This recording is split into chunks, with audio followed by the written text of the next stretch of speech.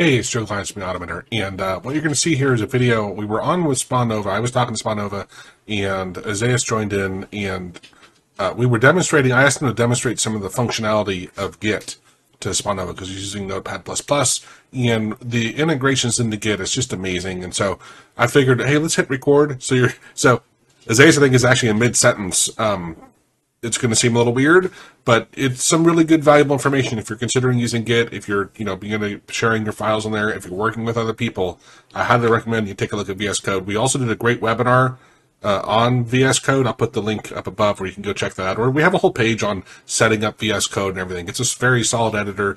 I think it's awesome for you know tracking your changes and what you're doing. And you'll see in this video, it's worth sitting back, kind of letting it play in the background and check it out. So hope you enjoy it. Um, subscribe and like the video. and I'd really appreciate it. Is so what happens with this particular uh, thing is that if you if you have a new version and, and something stopped working, you can see exactly where, when you modified the line that actually caused the problem. That's awesome. Right. It is pretty cool, yeah. And if and, and basically, if you are working with a lot of people, it tells you the name of who changed it. And here That's it says you, cool right? It says you, but uh, in other situations, you, you can um, you can see who actually made the change, when, and what is the commit that has to do with that. So it is the commit that says refactor, convert properties to static variables. And then I go here, go to my commits, uh, where it was this thing. Let me see what the changes were. So here are all the changes for that thing. That's it. Red is that it was removed. Green that it was added. Oh, so that is the change. That's it.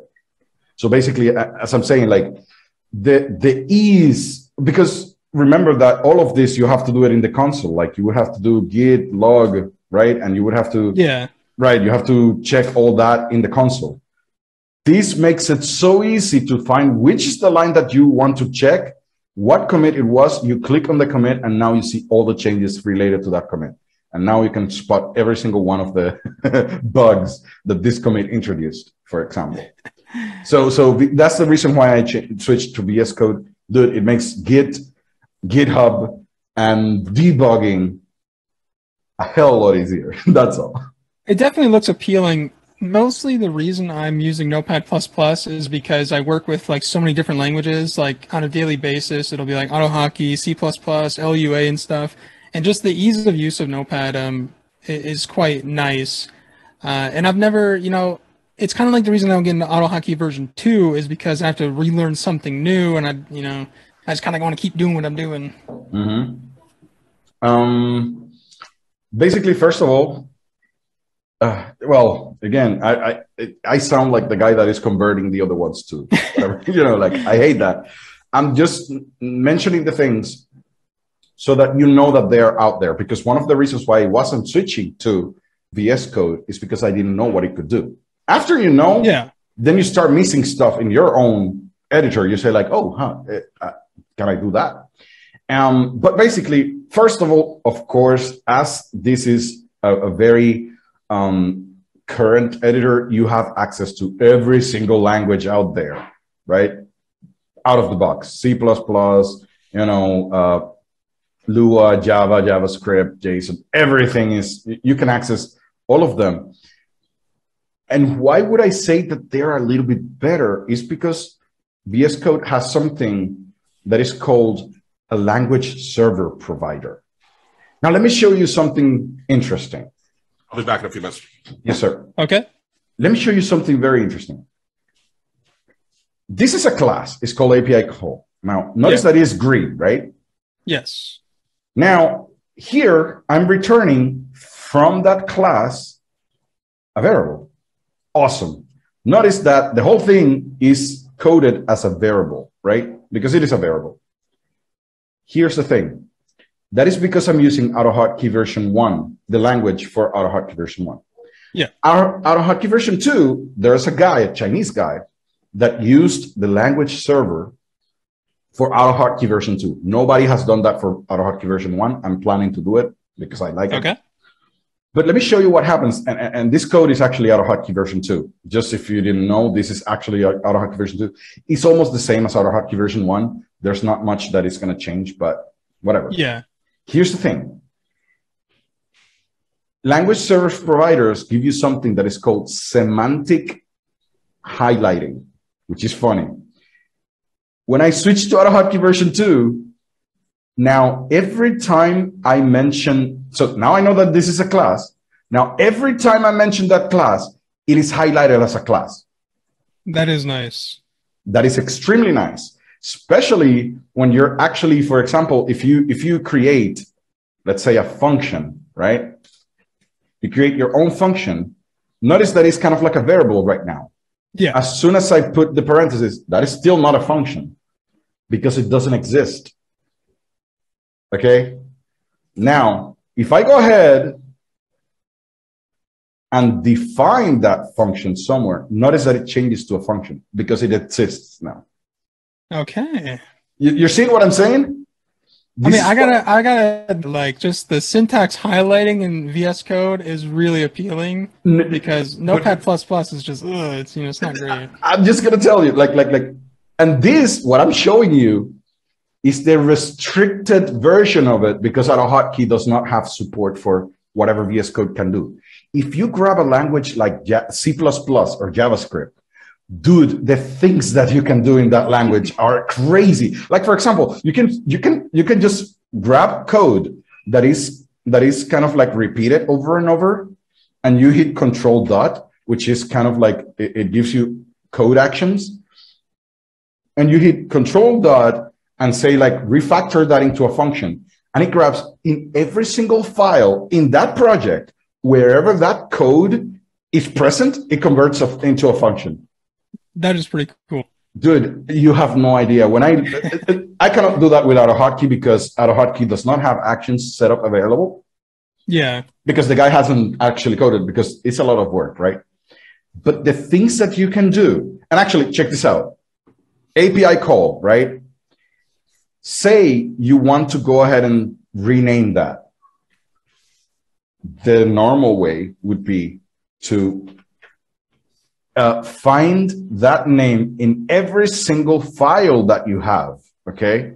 So you would have to go ahead and in any file that that word shows up, you have to go ahead and search and replace. Yeah, I'm familiar. I do that every now and then. Okay. I'm going to show you something very interesting. The problem is sometimes you want to replace that, but it is in a context that you don't want to replace it because it, it was in a comment. Yes. It, yeah. Okay.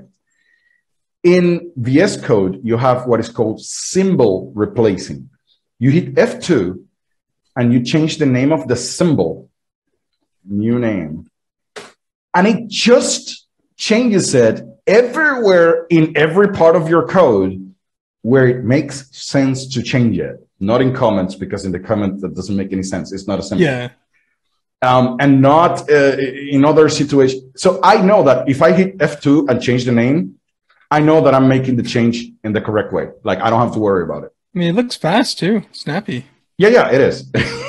and, and, the funny thing is, it's not just in this file; it's everywhere in your code where it finds yeah. it.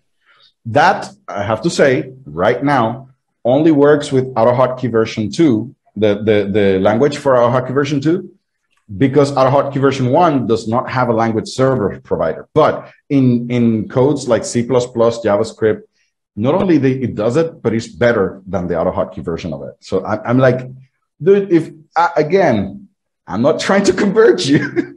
I'm just telling you, those are the things that are available that you probably don't know. And after you get used to them, like you, you're going to say like, does, does Notepad++ have that? No why would I use it? Like, why, why would I want to try that anymore? You know, that's really, I was hardcore Notepad plus plus.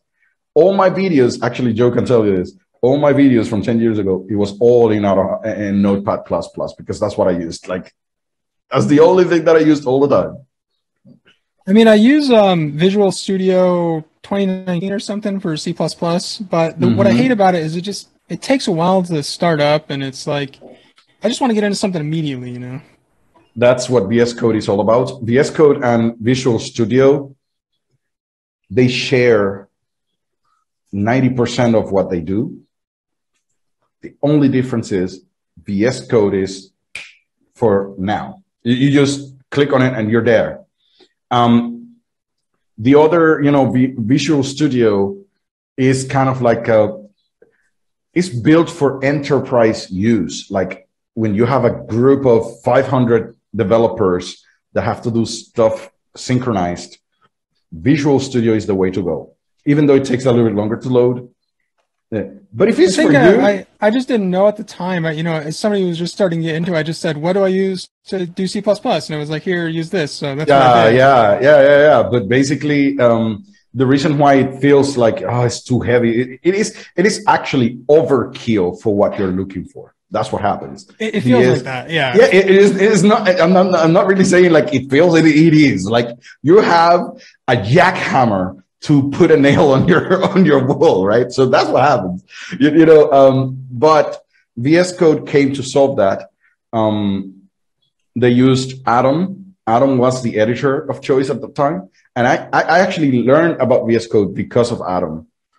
Atom was a free editor that was very cool, and and and, and Microsoft said like, "Mm, I'm gonna get that one. yeah, it was free. They just took it. Oh, Joe, this is one of the examples where licensing is a it it killed Atom. So Atom was a free project. Everything you look at it in here is amazing. It's exactly the same as Atom. The problem is Atom was a project for a few guys. It was really good. It was starting to take off. Microsoft saw it. Oh, that's free. They took it, put some developers to make it look prettier. Like they made it look prettier because it looks better. Yeah. And and they said, like, you know what? We also own GitHub. Why don't we integrate those two things? They integrated everybody. it- it- They killed Atom right there. As soon as I everybody saw that you could do that, like everybody switched and Atom died. And that is the issue with licensing. Having so much a permissive license to do whatever you want, that's what happens there. And they are not going to make any money out of it. Like, and Microsoft is going to make the billions. Oh, yeah, for sure. Yeah, because they, they now have a few interesting things going on with GitHub and VS Code on the web. Like you don't have to install VS Code on your computer anymore. Oh, You don't so have do to. like a web browser based one? Yeah, so, so if you are in GitHub right now, just go to GitHub. And this is the weird thing. Just enter into a, a, a- into your into your um, repository, right? Yeah. In your repository, just hit the period key on your keyboard. Just the period. Oh, and it opens up your web editor for that repository. And it is a VS Code thing. Uh, it- it- and, and it has all the options that you could have in the computer. The only thing that changes a little bit are the hotkeys, but everything else you can do. I mean, it looks just like uh, the one you were in the I'm desktop. just telling you, it is, it, is the one the, you don't have to even install it.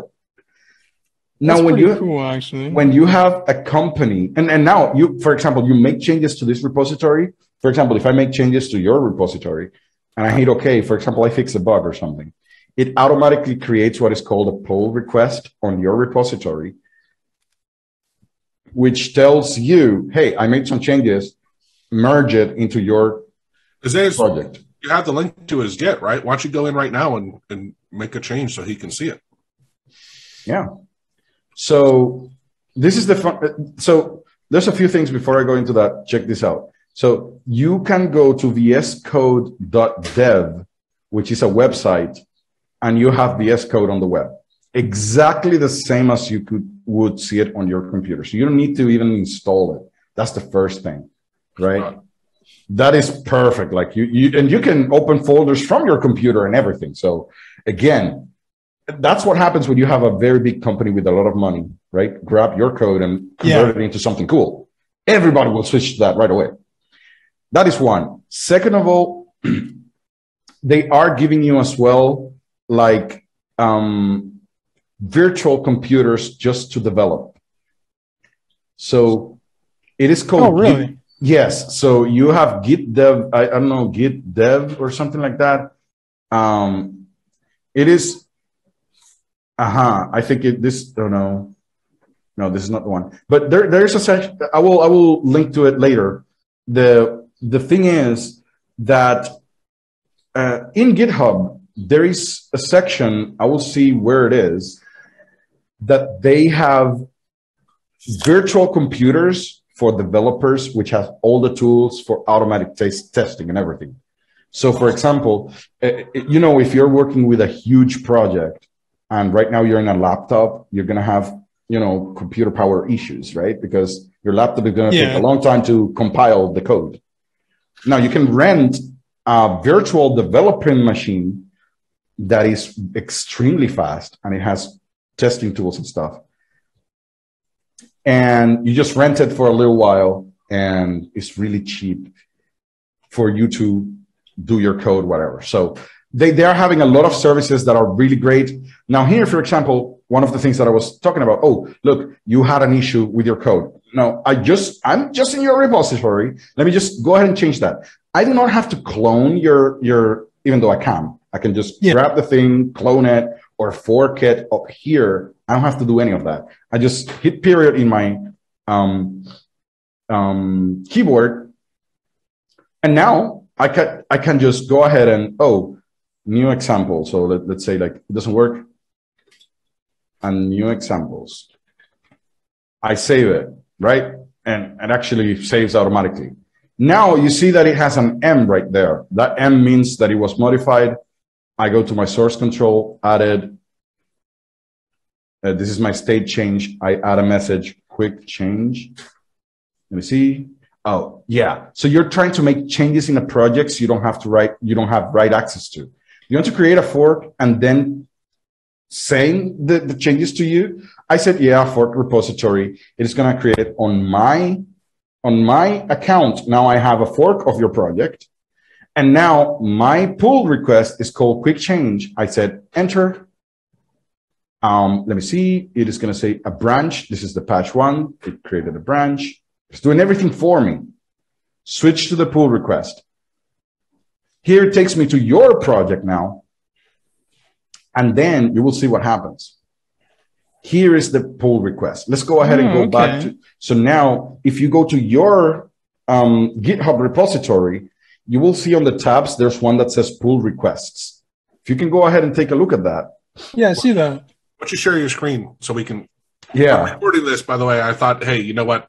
Yeah. Um, or for you, Spawnova, in case a lot of the, there, you know, sometimes there's so much stuff. Yeah, this is all new to me. I mean, it's helped me out. I'm telling you, it's new for everybody. There we go. so if you if you share your screen, what is going to happen is like in your repository here on the top, you do have these pull requests. They're going to show in there. Those are proposed changes. You can de- decline it. You can say, no, I don't, I'm not going to merge that, which is what you're going to do now, right? But you can click on it. So you can click on it. How do I, uh, how do I, oh, I, I click here. Yeah, you click okay. on it. Now you can see, uh, I could have a description. I would say like this change is for this. This is what it's going to do. This is what it fixes, blah, blah, blah. You can select the option to merge it after you check on it. But if you want to check the code first, click here where it says commit. So when you click on the commits, you see what it is, just click on the code. And there you go. And it tells you what changed. If it, if, if it was a lot of changes, you could see, go ahead and see the, the changes. I thought you said you'd see his, your name there. Um, the, yeah. So basically, as I did it all through the web, on the web is grabbing my user ID from, from GitHub. But if I do it on my computer, my computer has my name set up as the alias. Okay. That's what happens. But in general, uh, as you can tell, you can review the code, see if that is something that you would accept or not. And if you do, you, you can actually tell them like, no, you know what? Uh, if you change this other part, then I will merge it. Right. You don't have to accept it right away. That makes and, sense. Right. And in the end, you can just go ahead and review changes and that's that's where you tell me like no you know what uh, yeah this is something or you can just simply approve it. If it is approved, you go now to where you were before, like the conversation, and now you can you can approve the code which was hmm. here, merge it, right? because and, again, this is the, the, the the idea behind pull requests is that I put a change, a proposal, and all the developers can comment on it, and they can. Oh well, I have from ten developers, seven approved it. Okay. Oh yeah, see right here, it's got a plus one, minus zero. No, but that that is actually how much code changed. It was just one line oh, that changed. Okay, okay? so that's not it. But the pro here it says one approval. So if if if you have if you have uh, ten developers and seven approvals, the person who is in charge of the of the repository, in this case you because it's yours, can go ahead and merge it or decline it.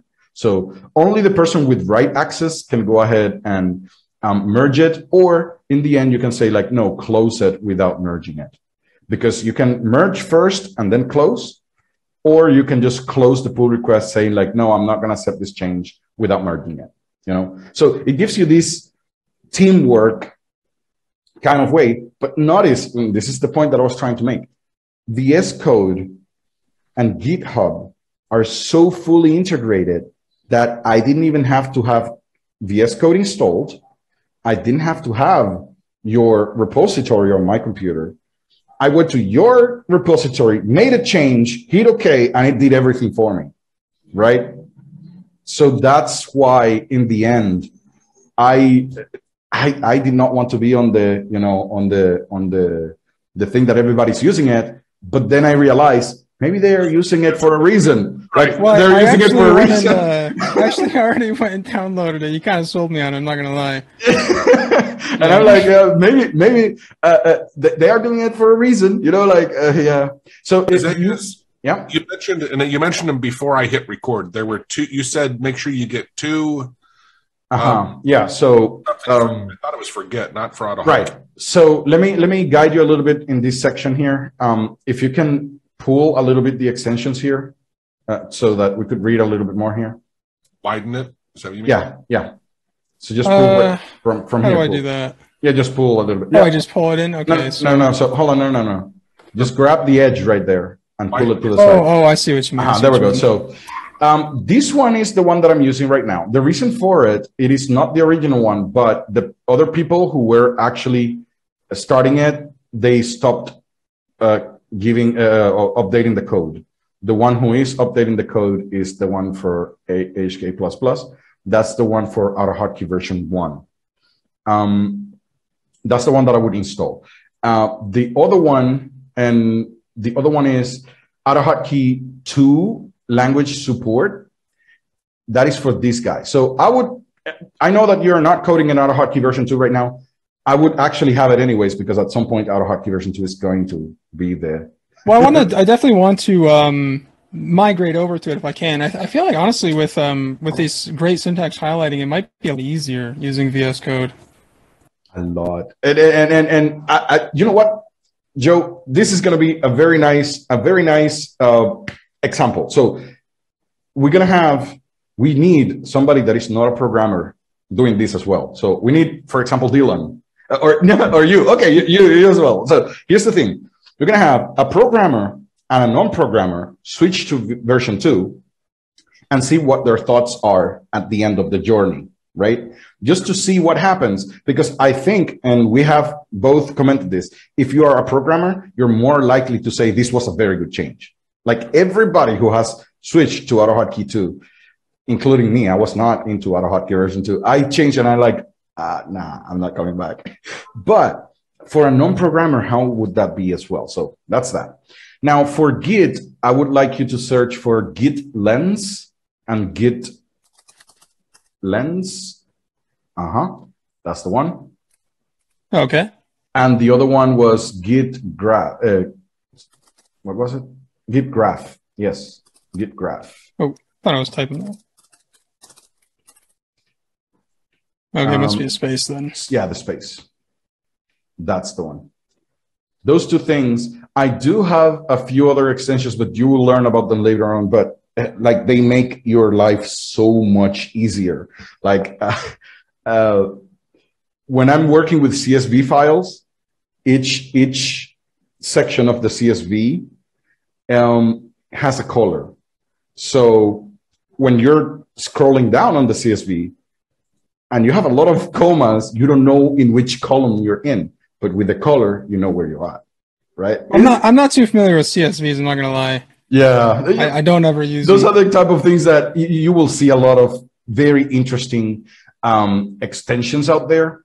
Uh, but yeah, don't worry. Now, here's the thing: if you start it, so if you can make it bigger here, what you would get is like the quick installation guide for it. No, aha, here it is. Open quick setup. This is this is our these are the type of little details that you can do, and they give you always examples of what it looks like. You just take a few minutes to just verify what they are. This is your blame. It tells you who changed it and when. I think that's pretty funny. Yeah. Yeah, you could see it on the line or on the on the. So remember, all of these things only work if you have a um a uh, a GitHub repository. So when you start, yeah so if you start with an empty folder, you're not going to be able to use these things. But as soon as you create and initialize a repository, and again, I showed you, it's really easy. Well, here's a question actually. Um, how how would I go into loading mine on the website into here? Yeah. Okay. So uh, and this is where uh, this gets very easy for you. Just click on File. Okay and it would actually tell you to open, um, try open a folder. Let me see something. No, because it, it actually gives you the option. It says like open a new, hold on, can you, can you click here where it says get started? Or just click here where it says get started. Yeah, it, oh, the repository. There you go. okay. Go. And now you just put the link to it. So from GitHub, you can just use the, the, the link that we used to clone. There is a there's a way to do that from the menu as well, by the way. On the menu, you can just open a, a, a clone a repository.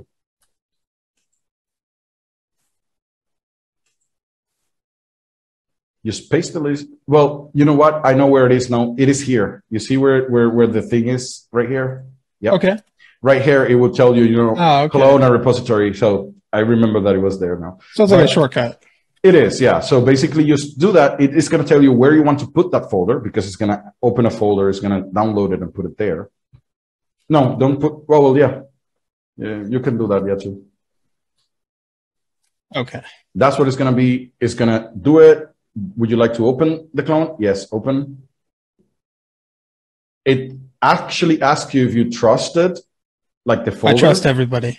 yeah, you can you can set that up like to not ask you or for certain folders, and now you have your repository right there. And the awesome. funny, yeah, the fun thing about this is that uh, if you click here on Git Graph, oh, so you okay. have AutoHotkey version two already. That's interesting. Yeah, I have it. Uh, the syntax for that, but uh, how do okay, no. how do I how would I change it? Is it right here? Yeah. So, so yeah, okay. just click in there. You just select and and and uh, if I were you, I would configure okay. the language to open with AutoHotkey version one first. Yeah. Just click click there again. Yeah, click there, and it says configure lang uh, association for AHK files, and you would just select AutoHotkey. Perfect. No, not not output. Oh no. I think you selected the wrong one. Just click again at the the oh okay one, right? yeah yeah yeah yeah sorry i thought okay. that you clicked on the output one yeah that's it so again you have here at the bottom your uh, encoding uh, stuff so you could kind of like change the okay. encoding if you need to the tab sizes if it is spaces Ooh, i like that i quite like that. right. that yeah so you have access to the most common stuff um, and again if you make any changes, this button right here at the bottom, at the bottom, it allows you to kind of like synchronize your hmm. changes from the from the repository. You can set it up to do it automatically. The fetch automatically fetches every certain time. But whenever you have changes and you synchronize here at the left, this is where you have your Git stuff. This is where you commit changes, add changes, you merge changes, you have your commits down here, your stashes. If you know a little bit of Git, all of everything that is related to Git, you can find it right here. You know. I'll have to learn all this. Like I said, yeah, I'm a complete newbie, so don't worry. But basically, this is where Git is. and here's where your files are at. Gotcha.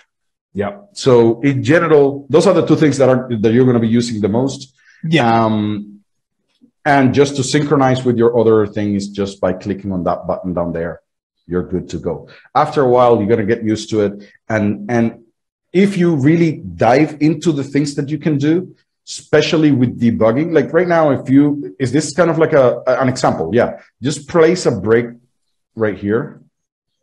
Uh-huh. Okay. Now just click on running the code up here. Ooh, you can run it from here? Yes, sir. Oh, but I can't run it here though because uh, I need to. How do you do the? Is it like dot dot to to include something a folder above? Oh yeah, you just just exactly as you did, but not two of them. Not not two slashes, just one. That is okay. one folder above. All right, let's try that then. Um, allow it, whatever. Okay, so it tells you that uh, no end. Why not? Mm, no on. environment. Yeah, hold on.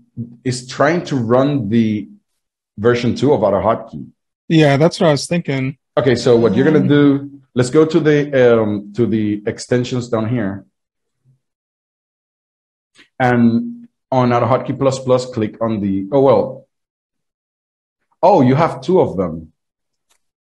Yeah, should I get rid of the stop one? Yeah, the one from Slevesque, he stopped giving support to that. That's the that's the okay. problem. Gotcha. So yeah, just click on that one. It seems to be that, uh, and then extension settings. I'm sorry.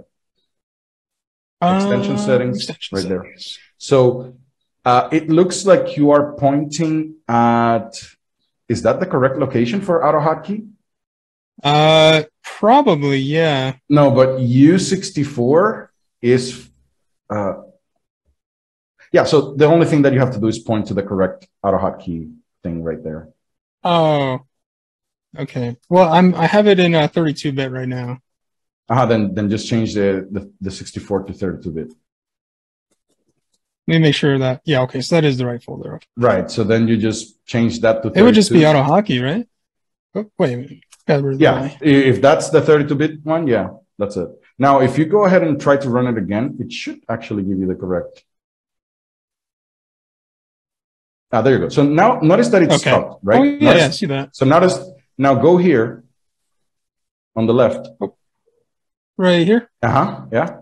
Oops. And now clicking global here. Ooh, and look at nice. scan here. Just click on scan. And there you go. You have your variable. And actually, now if you double click on one of those, you can modify the variable. Well, these would be pointers Okay, to, uh, but, but, but, but in general, you see this out of date here? Just double click on it. Okay. And put zero in there. That's cool. This is that's and now, cool. and now if you run the code or if you go line by line on your on your debugger, if you go because you can go line by line instead of just uh, here, you can go line by line. Right there. Okay. Uh-huh. So it goes Step line over. by notice that it actually kind of like jumped over. You can see where it's gonna land the debugging dude the debugging, you're not never gonna come back. you're never gonna come back. And this having nice, access, yeah. yeah, and having access to all your variables, global and local.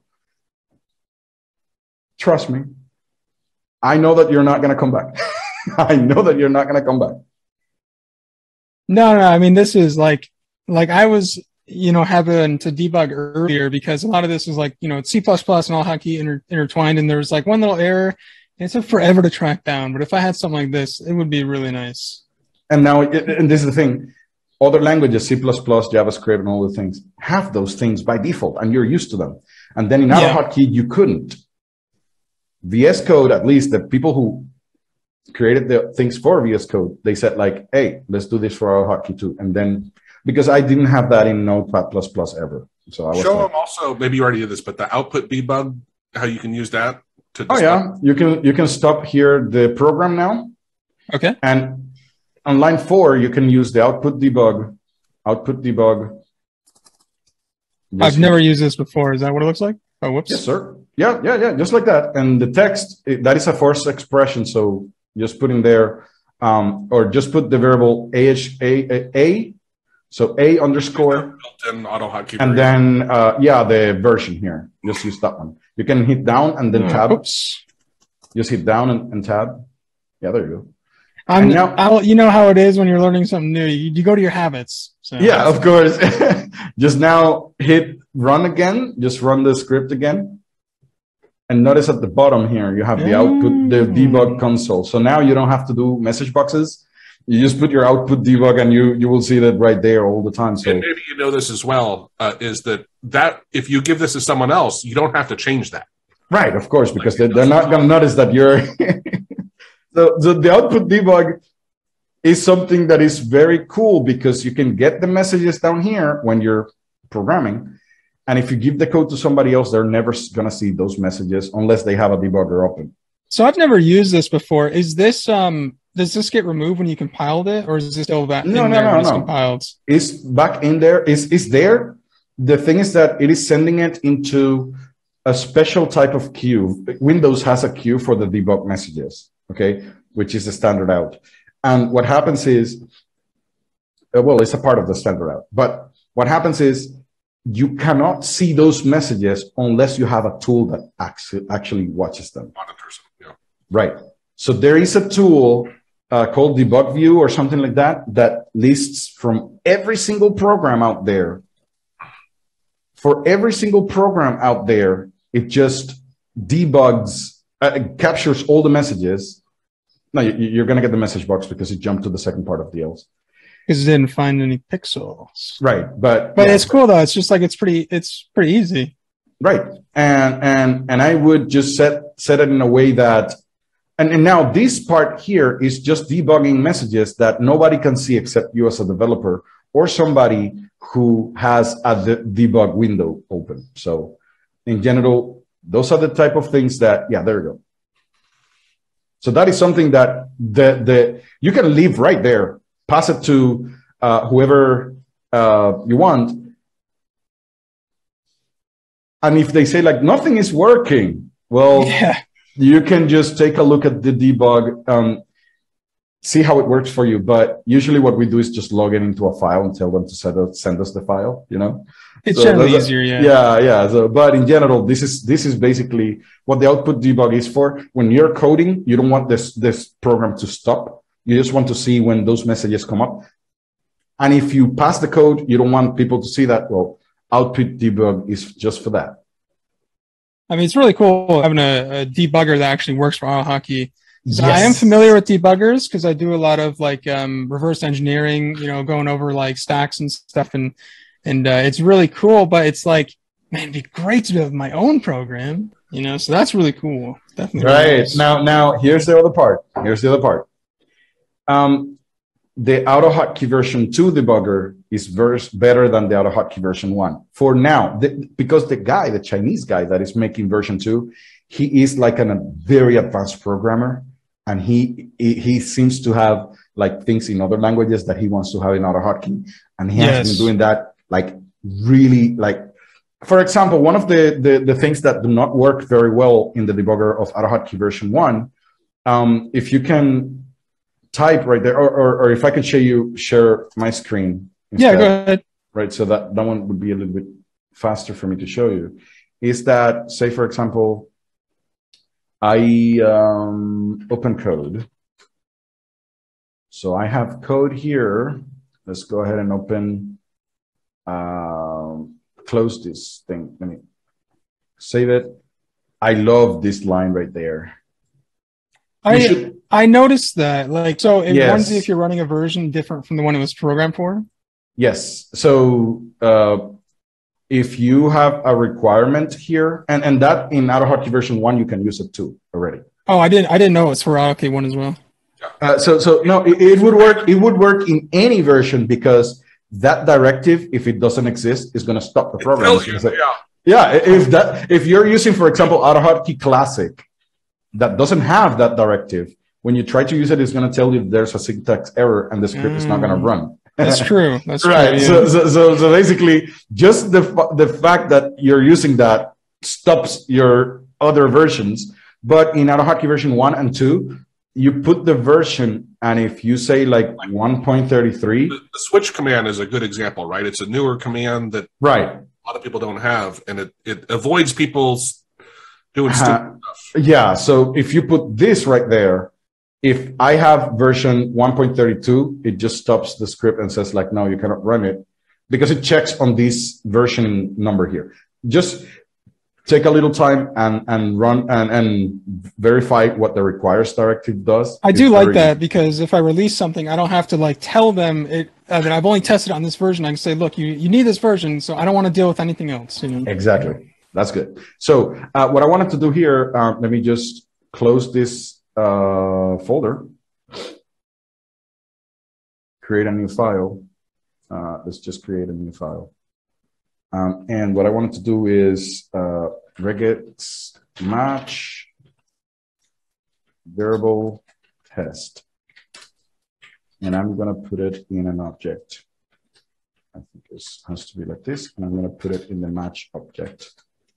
Um, there we go, and var is going to be my test. That should match. Let's go ahead and save this file as desktop. That's it.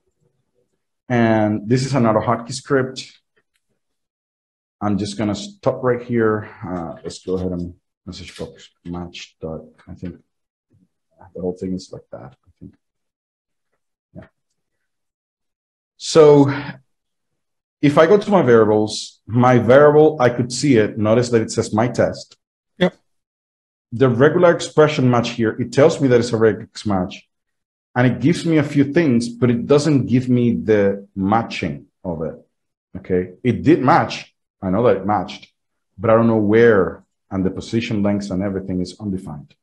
So basically, I do not have access to the match object's memory. I have partial access to it.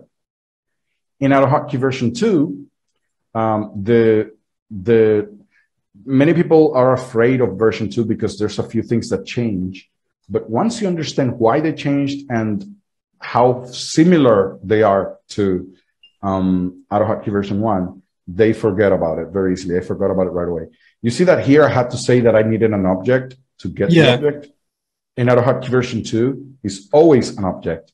And what I'm pa- passing here is a, an, uh, a var reference is what it's called. It's not the address anymore.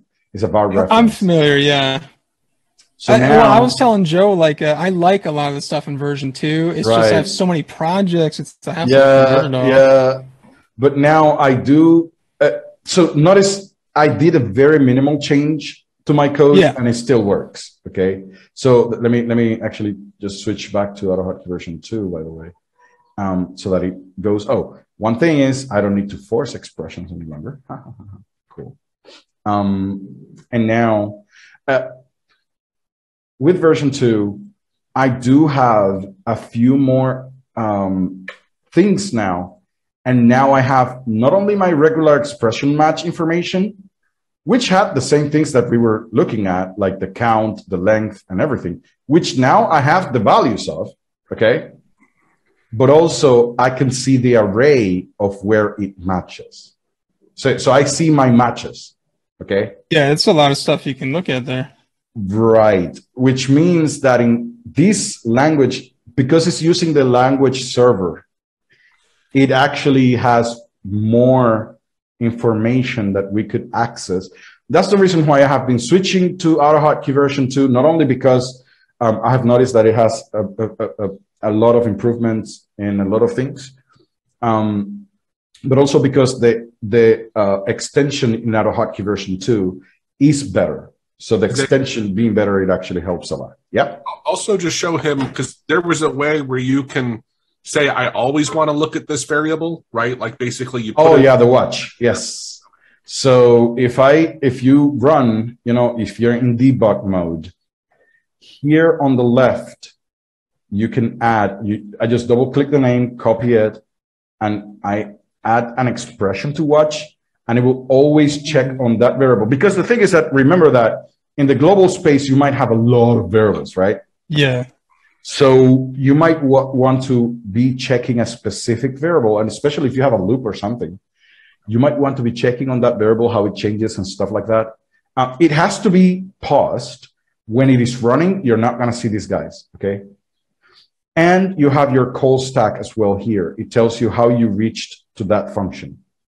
So it tells you the main thread, then this other function called this other function, and now you're in this location. Okay, so it tells you how you got there, what are your watch variables, the variables that you want to, you know, the all the variables in the program, and your breakpoints that you can click on them and jump to specific locations in your code where you have your. So it is really again, uh, there, there's so many things that I can tell you about this thing that I, I, could go on and on. We should do uh, at some point kind of like a like a um uh, sorry a a a video on that, Joe, because there's so many things that I could just go on and on about. Like for example, I, I told you, making yeah. a course whole thing, right? Yeah, like, this this is this is kind of like it's not as simple as one thing is the problem, right? There's so many things. There's so that... many details because um, there is, uh, for example, if I go ahead and open this guy here, this one here, this is one that I really love. Just think of it as when you have a class or something, especially a very long, big file, the outline here acts as an index. It is an index of your method, functions, um, labels. So it gives you kind of like a very quick overview of your program. When I, I mean, act, yeah, that would be really nice. It is good, especially when I go ahead and take a look at code from somebody else.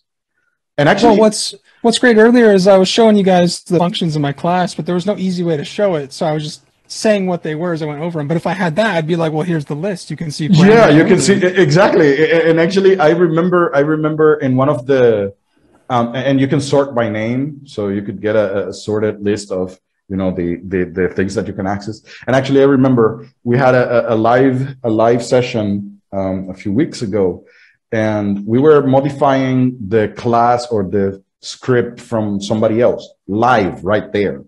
And and uh, I think John said like I'm amazed at how easily you understand other people's code, and I'm like, it's not me, it's the tool. the tool helps me. You know, I saw the list of stuff that I could do. I know more or less where. Oh, so he needed to modify an image or something. Well, I found a function that had maybe to do with that. I double click on it and it jumps to it. So now I just jump to that function. You see what I mean? So it is not only just viewing it, you can just double click on it and it jumps to that function. So yeah. now, and now I know like, okay, so let me read this function and what it does, but I didn't have to read the whole code. So again, after a little while, you're going to be missing a lot of stuff in other editors that you say like, nah, nah, I have to be here. I, I cannot do anything about it, you know? Um, so yeah, uh, I sound like like a televangelist. like, now just sign up for nine ninety five. And... No, no, yeah. no, I mean, like I said, uh, you you sold me on it. I'm definitely going to run this now. Yeah, I mean, uh, it's that debug especially is like, oh my god, that's awesome. And now, and now, when you know that you have all that on the web because they have a web version of it, so that means at any point, if you just went out of your home, you're not at home and you need to check some code real quick, you don't have to install it in a different computer. You don't have to roll. Oh, one thing you see, um, if you can show me your your your, your screen real quick. Four minutes before I got to switch to the live. Oh, right. Yeah, true. Just FYI. Yeah, this is very quick. This is something that okay. it is very important um, to have for you know in general. It is about um, on the left. So if you click on on your left the gear sign, uh, the, the, the gear icon. Oh, where did it go? Uh, the cog in the bottom left? Bottom left, actually. Hold on, yeah. give me a second. Uh, why, why? Ah, here it is. Uh-huh. So here you can just go ahead and um, well, not the not the gear, but the one above the gear. That one. Okay. Uh-huh. It says turn on settings sync. That synch- synchronizes all your settings, your shortcuts, your snippets, your tasks, your extensions, everything, and, and how you left your UI as well. So to sign in, you, you, you click on sign in and you can sign in with your GitHub account. So with, with, with, with GitHub, it allows you to sign in. That means that if you go to another computer and you sign in, all your hotkeys come with you. Because that's the one thing that I hate about this program. The hotkeys are especially convoluted because oh, there are oh, many of them. There are yeah. many of them and they do not follow the standard that you're used to. I'm not gonna lie, I don't even use hotkey. I click the little blue save icon every time. Yeah, but basically, but basically, um, um, the the standard hotkeys that we are used to on Notepad like duplicating a line or moving a line, I, I was used to something in there. And control J, control D for duplicating and stuff like that. It's not like that in here. In here, you have like combinations of hotkeys, like control K, control J, or something like that. And I'm like, no, I'm not doing that. So I switch all my hotkeys to what I'm used to, which is easy, by the way. But then I was like, oh man, when I go to another computer, I'm gonna lose it. No, you, you don't. a video on it, um, just to okay. make it. Yeah, yeah, but basically, I was like, it, it, it's you know the video helps step you through it. Yeah. So right. we're gonna we're gonna stop here yeah, because we have, we have our, two minutes. We have a live call here. If in if you want, I can send you a link if you're interested in joining. But it's a live. We do a live Friday. You know, help people. Um, so um we, I mean, if if I'm not going to impose, I don't mind. Oh, I love helping people. No, I got yeah, That's great, and and and, and the, the, more people we have that have other areas of expertise, the great, the better. Because there's some questions that I cannot answer. That's all. Like, so it's a different meeting room. So let me stop this. Let me get a streaming. I'll send you the invite, and then um, I'm going to have a. Oh, hold on. Let me stop.